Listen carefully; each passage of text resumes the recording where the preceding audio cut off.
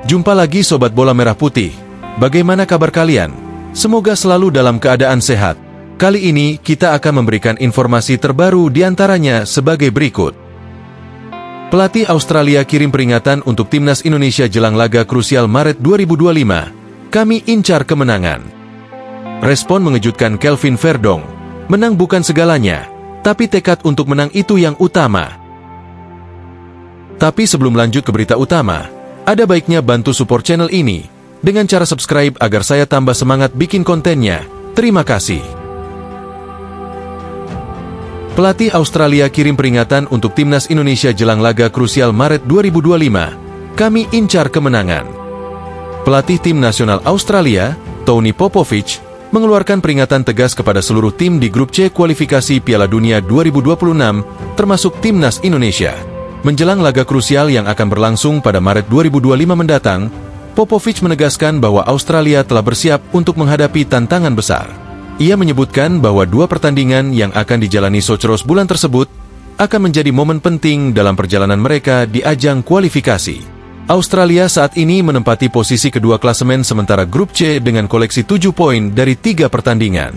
Meskipun posisi tersebut cukup baik, situasi di grup C jauh dari kata aman. Persaingan yang sangat ketat membuat empat tim lain, termasuk Indonesia, hanya terpaut satu poin dari mereka. Ini berarti hasil di setiap laga berikutnya akan sangat menentukan posisi akhir mereka di grup. Tony Popovich menyadari pentingnya meraih poin penuh dalam pertandingan berikutnya. Pada Maret 2025, Australia dijadwalkan menghadapi dua lawan berat, yaitu Timnas Indonesia dan Timnas Cina. Kedua laga ini dianggap sangat krusial bagi Socheros untuk menjaga posisi mereka tetap di peringkat kedua, sekaligus memperbesar peluang lolos ke putaran berikutnya.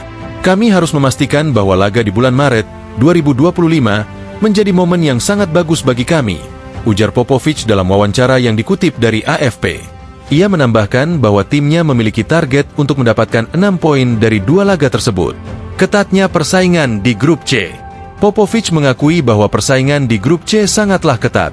Satu-satunya tim yang tampil dominan sejauh ini adalah Jepang, yang saat ini berada di puncak klasemen dengan poin sempurna. Jepang telah menunjukkan kekuatannya sebagai salah satu tim terbaik Asia dan diprediksi akan melaju ke putaran berikutnya tanpa banyak kesulitan. Namun, situasi berbeda terjadi di bawah Jepang. Posisi kedua hingga kelima di grup C saat ini diisi oleh Australia, Indonesia, China, dan Korea Utara yang hanya terpaut satu poin. Kondisi ini membuat setiap pertandingan di fase kualifikasi menjadi laga hidup dan mati. Tony Popovich menekankan pentingnya konsistensi dan fokus bagi skuad Socheros untuk menghadapi tekanan besar ini. Ia meminta para pemainnya untuk tetap solid, tidak meremehkan lawan, dan menunjukkan karakter kuat dalam setiap pertandingan. Khususnya menghadapi timnas Indonesia, Popovich memperingatkan bahwa mereka harus sangat berhati-hati. Indonesia terus menunjukkan peningkatan performa dalam beberapa tahun terakhir. Mereka memiliki pemain-pemain yang semakin matang dan pola permainan yang sulit diprediksi. Kami tidak boleh meremehkan mereka, tambahnya. Indonesia siap tantang Australia. Di sisi lain, timnas Indonesia yang kini berada di posisi keempat klasemen dengan enam poin juga sedang mempersiapkan diri. Di bawah asuhan pelatih Shin Tae-yong, Indonesia telah menunjukkan perkembangan signifikan baik dari segi permainan maupun mental bertanding. Salah satu kekuatan utama timnas Indonesia adalah perpaduan antara pemain muda berbakat dan pemain senior berpengalaman. Selain itu, atmosfer dukungan supporter Indonesia yang sangat fanatik juga menjadi salah satu keunggulan. Indonesia diketahui akan memanfaatkan laga ini sebagai peluang untuk menambah poin dan memperbesar peluang mereka untuk melangkah ke fase selanjutnya. Kami sadar bahwa melawan Australia bukanlah hal yang mudah. Namun, kami akan mempersiapkan diri sebaik mungkin. Dengan kerja keras, kami yakin bisa memberikan perlawanan sengit, ujar Shin Tae-yong dalam sebuah wawancara sebelumnya. Momentum krusial di Maret 2025. Laga antara Australia dan Indonesia diprediksi akan menjadi salah satu pertandingan paling dinantikan di grup C. Kedua tim memiliki motivasi besar untuk meraih kemenangan. Australia ingin mengamankan posisi mereka di peringkat kedua, Sementara Indonesia bertekad untuk membuktikan diri sebagai salah satu tim kuat di Asia. Sementara itu, laga melawan Cina juga tidak kalah penting bagi Australia. Cina yang kini berada di posisi ketiga klasemen juga memiliki peluang besar untuk merebut tiket ke babak selanjutnya. Dengan situasi ini, Tony Popovich harus memastikan timnya tetap fokus dan tidak kehilangan momentum di bulan Maret 2025. Prediksi laga sengit Laga Australia kontra Indonesia dipastikan akan berlangsung sengit. Australia, yang dikenal memiliki gaya permainan cepat dan agresif, akan menghadapi Indonesia yang mengandalkan permainan kolektif dengan transisi serangan yang cepat. Apakah timnas Indonesia mampu memberikan kejutan dan menggagalkan ambisi Soceros untuk meraih poin penuh? Ataukah pengalaman dan kualitas individu pemain Australia akan menjadi pembeda di laga ini? Semua pertanyaan ini akan terjawab pada bulan Maret 2025 ketika kedua tim bertemu di lapangan hijau. Dengan segala dinamika yang terjadi, duel ini akan menjadi sorotan utama para penggemar sepak bola Asia. Kemenangan atau kekalahan tidak hanya akan menentukan nasib kedua tim di grup C, tetapi juga memberikan gambaran tentang persaingan sepak bola Asia menuju Piala Dunia 2026.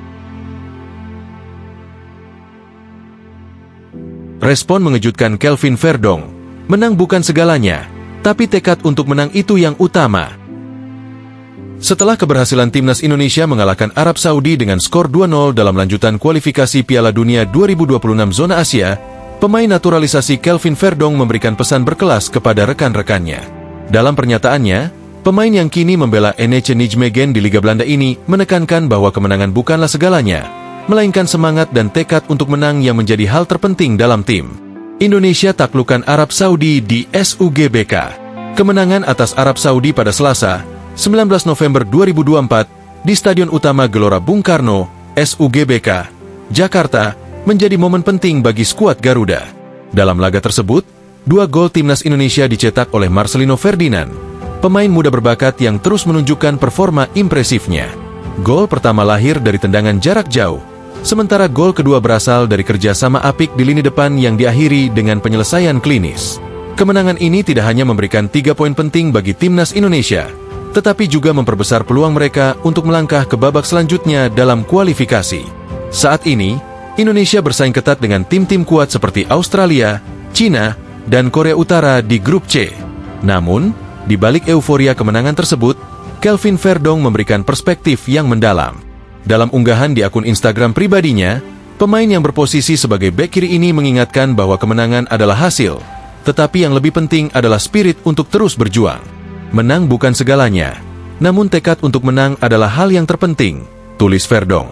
Ia juga menambahkan ajakan kepada seluruh anggota tim untuk tidak cepat berpuas diri dan terus bekerja keras guna memastikan tiket ke Piala Dunia 2026.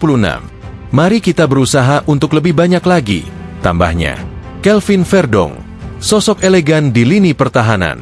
Dalam pertandingan melawan Arab Saudi, Kelvin Verdong tampil sebagai salah satu pemain kunci. Bermain sebagai bek kiri, Verdong tidak hanya kokoh dalam bertahan, tetapi juga aktif membantu serangan. Ia bahkan hampir mencetak gol melalui tendangan first time dari luar kotak penalti yang sayangnya masih melenceng tipis dari gawang lawan. Penampilan Verdong semakin menunjukkan bahwa kehadirannya di timnas Indonesia memberikan dimensi baru, terutama dalam hal distribusi bola dan pergerakan di sisi sayap. Kombinasi permainan defensif yang solid dan kemampuan menyerangnya membuat Verdong menjadi salah satu pemain andalan pelatih Shin Tae-yong. Pesan yang disampaikan Kelvin Verdong menunjukkan kedewasaan dan visi besarnya sebagai bagian dari timnas Indonesia.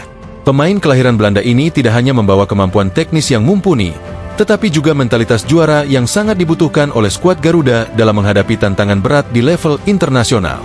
Semangat itu harus selalu ada. Kami harus menjaga tekad yang sama untuk terus melangkah maju. Kemenangan atas Arab Saudi adalah bukti kerja keras tim, tetapi perjalanan belum selesai ungkap Verdong dalam wawancara singkat setelah pertandingan.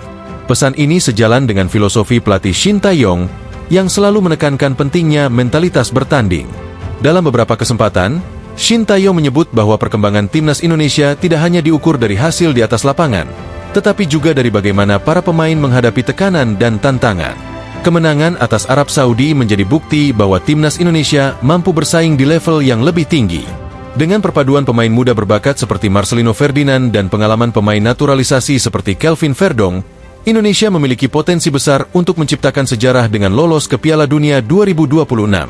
Namun, perjalanan ini membutuhkan konsistensi, kerja keras, dan semangat yang tak pernah padam. Seperti yang diungkapkan Kelvin Verdong, semangat untuk terus berjuang adalah hal yang paling utama. Apakah Indonesia mampu melanjutkan tren positifnya di kualifikasi ini? Semua akan terjawab di laga-laga berikutnya. Yang pasti, semangat Garuda tidak pernah padam.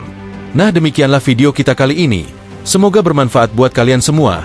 Akhir kata saya izin pamit. Terima kasih.